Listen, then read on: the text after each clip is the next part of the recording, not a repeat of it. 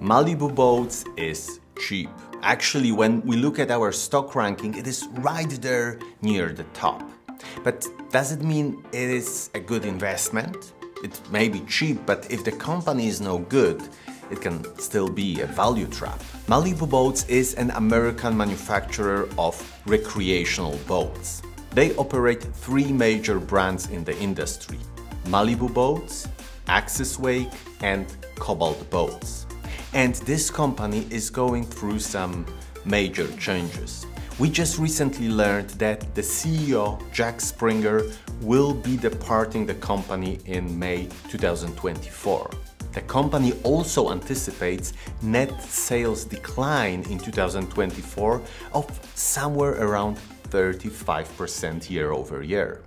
But we have to remember that the leisure boat industry is cyclical and such a decline may be a sign of just that. If you were to invest $1,000 into this company 10 years ago, you could buy around 43 shares. And now they would be worth something close to $1,795 and that is a gain of 79.5% in 10 years. It is okay because we would not lose our money, but not really what we are looking for. But if we had sold when the stock was at its peak three years ago, we would have realized a gain of almost 400%. So right now it is down by 53% and that can create an interesting investment opportunity. So uh, let's check it out. Individual insiders, that is an X. 1.4% of the company is owned by individual insiders and we would like to see this number over 2%. And are individual insiders buying?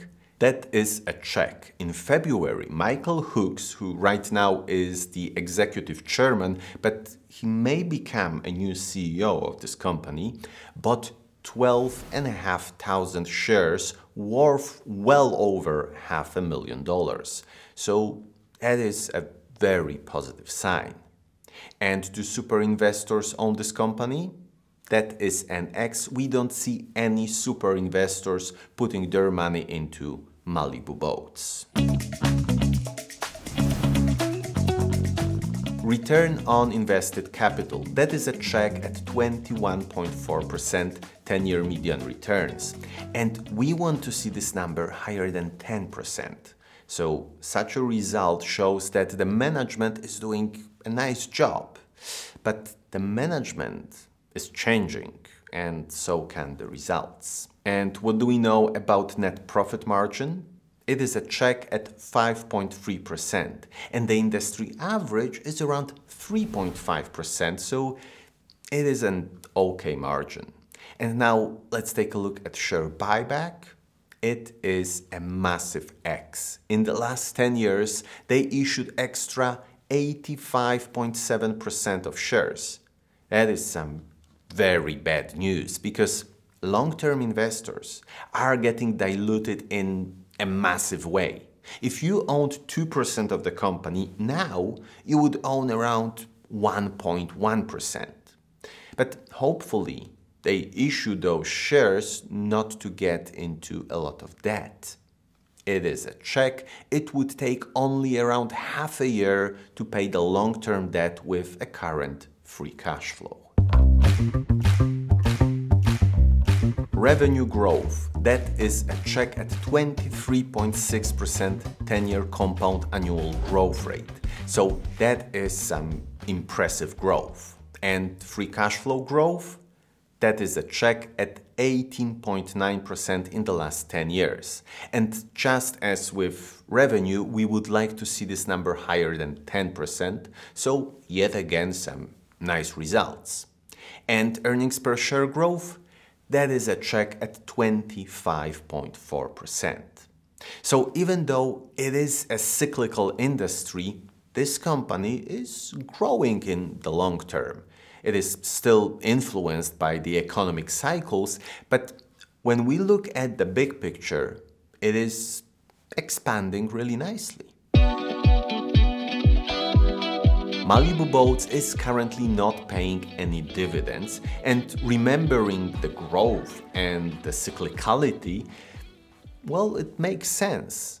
They want to expand, they want to have more cash for some tough years, so dividends would actually hurt the stability and growth of this company. Price to earnings ratio is 13.4, so that is rather low for today's standards. But we will use a discounted cash flow formula to value Malibu boats. And for that, we will make three scenarios of its future growth. And we will use a five-year average free cash flow and not the recent one for this calculation, because in case of cyclical businesses, this long-term perspective can actually give us a more realistic view of the company. So in the low scenario, we will estimate a growth of 6% for the first five years and then 5%. In the medium, 12% and then 10%. And in the high scenario, 18% and then 15% growth. So the low scenario is close to the predicted growth of the leisure boat industry, which is around 5.8%. Medium is predicting that Malibu boats will grow twice as fast as the market. And the high one is close but still lower than the growth of this company that we saw in the past few years. So, with such estimates, the intrinsic value in the low scenario is $74, in the medium $111, and in the high scenario $166.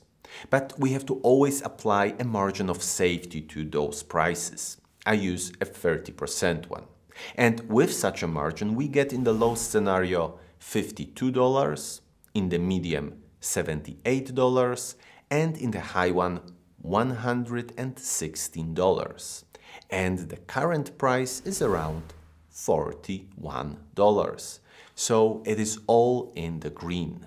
Malibu Boats is still cheap.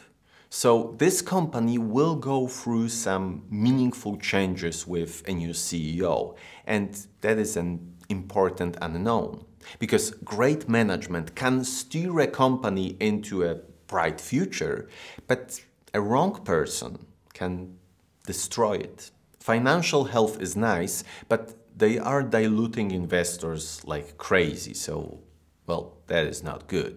Long-term growth is great and the price is very appealing.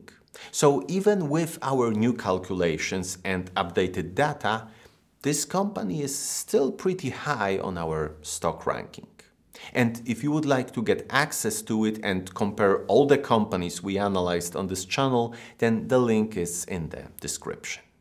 But as I said at the beginning, this company expects a decline in sales this year. And because it is a cyclical industry, such decline or stagnation can last for a very long time. If you enjoyed this video, you may want to see my analysis of ST Microelectronics, which is another company with a surprising price. Thank you so much for watching and see you in the next one.